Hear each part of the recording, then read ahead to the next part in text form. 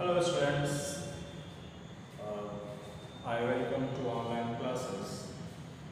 Today I will discuss powers of the president.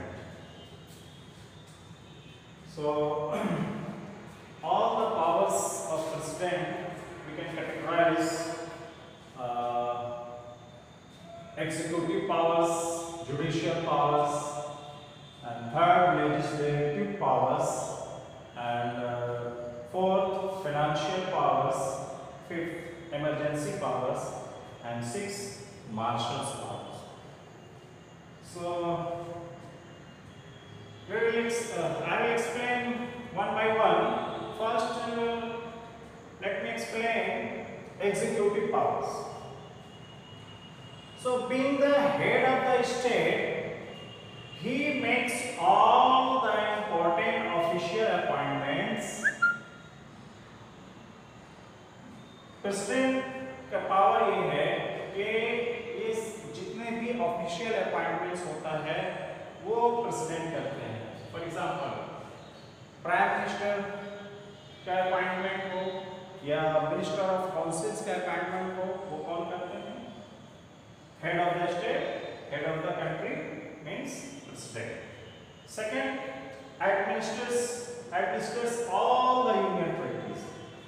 इसी तरह से हमारे देश में जो यूनियन टेरिटरीज है उसका भी प्रशासन एडमिनिस्ट्रेशन प्रेसिडेंट के हाथ में होता है वहाँ जो राज वहाँ पे लेफ्टिनेंट गवर्नर के जो अपॉइंटमेंट्स होते हैं वो प्रेसिडेंट की तरफ़ से ही होते हैं uh, all the treaties. Treaties means agreement.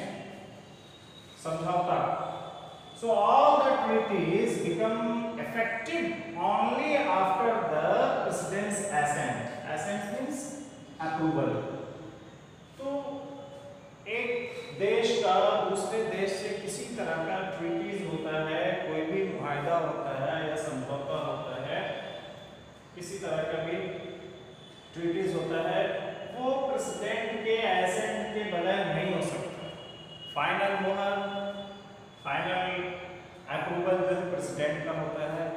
जब मोहर लगा देते हैं, प्रेसिडेंट अप्रूवल करते हैं, तभी किसी दूसरे देश से ट्रीटीज हो सकता है, किसी तरह का भी सेकेंड पावर प्रेसिडेंट का जो पावर है जुडिशियल पावर्स जुडिशियल पावर्स में यानी कोर्ट से रिलेटेड अदालत से related so president can appoints the chief So who appoints the Chief Justice of Supreme Court and High Court? President of India. So President can appoint judges, Chief Justice of Supreme Court and High Courts and other judges of Supreme Court and High Courts. So President has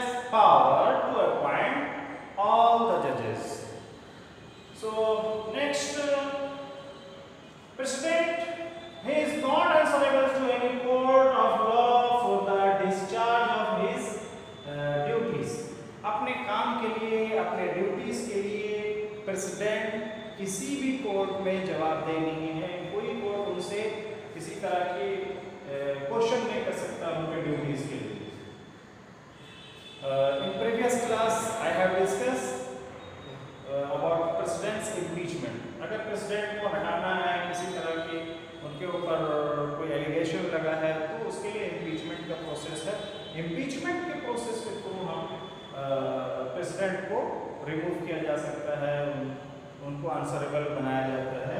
कोई court उनसे direct कोई जवाब नहीं तलब कर सकता in judicial powers next he has power to grant pardon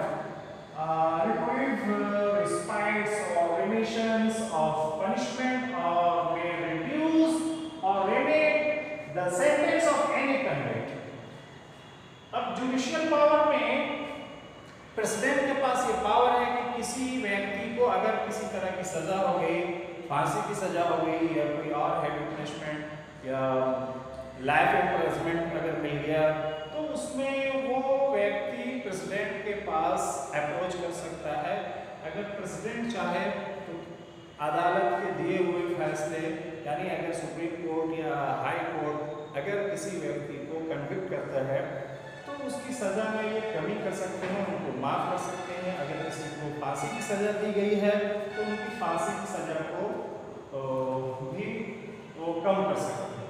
So he has all the he has powers about judicial powers so we are discussing about judicial powers so and next welcome legislative powers the president summons the parliament vice night president के पास ये power है कि वो साल के कम से कम parliament की दो बैठक करवा सकते हैं, दो सेशन बुला सकते हैं, उनकी मीटिंग करवा सकते हैं।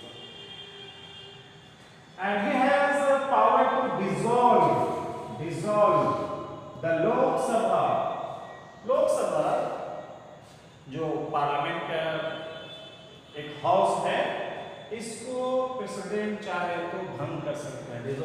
भंग करना खत्म करना। अगर जो सरकार चला रही है उस सरकार के पास मेजोरिटी नहीं है आ, ये, ये, अगर उनके पास मेजोरिटी नहीं है तो उनको वो डिसॉल्व कर सकते हैं। या किसी तरह का मोशन तो सरकार के खिलाफ आ गई और वो अपने को प्रूफ नहीं कर सकते हैं कि मैं मेजोरिटी में हूँ तो प्रेसिडेंट उन्हें लोकसभा को भंग कर सकते हैं। लोकसभा भंग होने का मतलब कि फिर नए सिरे से एक चुनाव होगा। लोकसभा का चुनाव होगा। Next in this category no bill can become law without his approval. अब कोई भी बिल, कोई भी कानून बनता है तो उसके लिए पार्लियामेंट में बिल लाई जाती है। और वो बिल उस वक्त तक कानून नहीं बन सकता है जब प्रेसिडेंट का अप्रूवल ना हो अगर पार्लियामेंट के दोनों सदनों से दोनों हाउस से अगर कोई बिल पास भी हो जाता है तो उसके बाद वो प्रेसिडेंट के कॉन्सेंट के लिए वो बिल प्रेसिडेंट के पास जाता है। अगर प्रेसिडेंट को लगा कि ये बिल सही है तो वो साइन करते हैं। अगर उनको लगा कि नहीं है तो वो वापस कर सकते हैं। so, कोई भी बिल उस वक्त तक कानून एक्ट नहीं बन सकता है जब तक प्रेसिडेंट उसको अप्रूवल ना दे। And president has also power to issue ordinance when the parliament is not in session ordinance so ordinance ये अब देखिए पार्लियामेंट का सेशन चलता है तो वहाँ पे एमपीज लोग लॉ मेकर्स कानून बनाते हैं। अब समटाइम्स पार्लियामेंट सेशन में नहीं है, पार्लियामेंट में सेशन नहीं चल रहा है। ऐसे टाइम में देश में अचानक किसी चीज़ की ज़रूरत पड़ गई उस पर कानून बनाना और अभी पार्लियामेंट का सेशन नहीं चल रहा तो ऐसे में क्या कर सकते हैं? तो ऑर्डिनेंस ला सकते हैं। एक टेम्पोररी लॉ पास कर सकते हैं, क्योंकि उसकी ज़रूरत है। इसीलिए प्रेसिडेंट के पास ये पावर है कि वो एक ऑर्डिनेंस ला सकते हैं टेम्पोररी और ऑर्डिनेंस के हिसाब से वो कानून लागू हो जाएगा। फिर छः महीने के अंदर में विद इन सिक्स मंथ या पार्लियामेंट का सेशन जब स्टार्ट होगा तो फिर उस पर उस पर चर्चाएँ होंगी और फिर उसको एक्सटेंशन भी किया जा सकता है। और या उसको फिर वहीं ख़त्म भी किया जा सकता है। Next financial powers and emergency powers and martial powers so number four will discuss financial powers so No money bill can introduce in the parliament without his prior permission. अब मनी बिल जो है parliament में जो रखा जाता है money bill से related जो भी लॉ या लाया जाता है तो पहले मनी बिल को पार्लियामेंट में इंट्रोड्यूस करने से पहले प्रेसिडेंट्स को पहले आ, उन्हें इन्फॉर्म करना पड़ता है उनसे अप्रूवल लेने So basically in this category financial powers, so no money bill can be introduced in the parliament without his prior permission. Uh, has power to president has power to sanction money from the contingency fund. iske alawa president ke paas ek aur power hai uh, financial power ke andar mein uh, he has power to money from the contingency fund. Contingency fund uh, एक emergency situation के लिए बनाई गई है।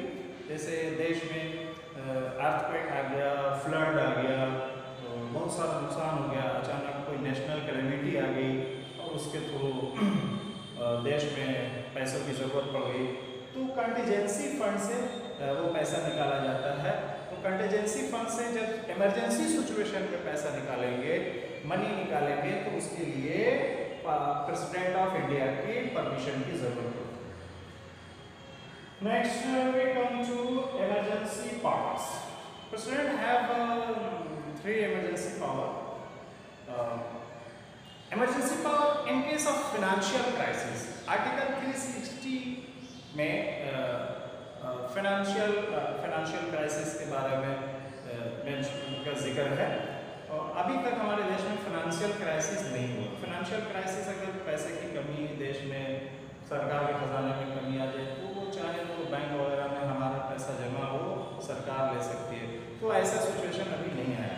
President के पास एक और power है इमरजेंसी पावर्स के अंदर में आर्टिकल 352 के में एक नेशनल इमरजेंसी देश में अगर किसी तरह का बाहर से कोई अटैक हो गया, किसी तरह हमला हो गया या घरेलू कोई आपस में जंग हो गई आपस में ही तो उस सिचुएशन में भी नेशनल इमरजेंसी की घोषणा की जा सकती है।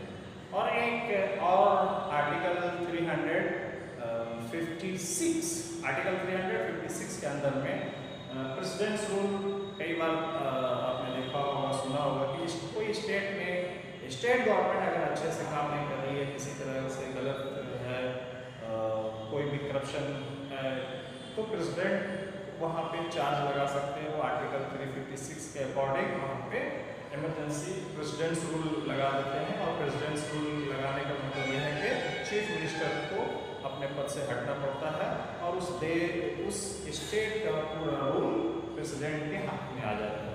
और प्रेसिडेंट का जो रिप्रेजेंटेटिव गवर्नर होता है वहाँ पे वो रूल करते हैं। Last we will discuss martial powers so martial powers so in this category he is the supreme commander of the defence forces of India is the supreme commander of defence forces of India so हमारे यहाँ तीन सेनाएँ हैं।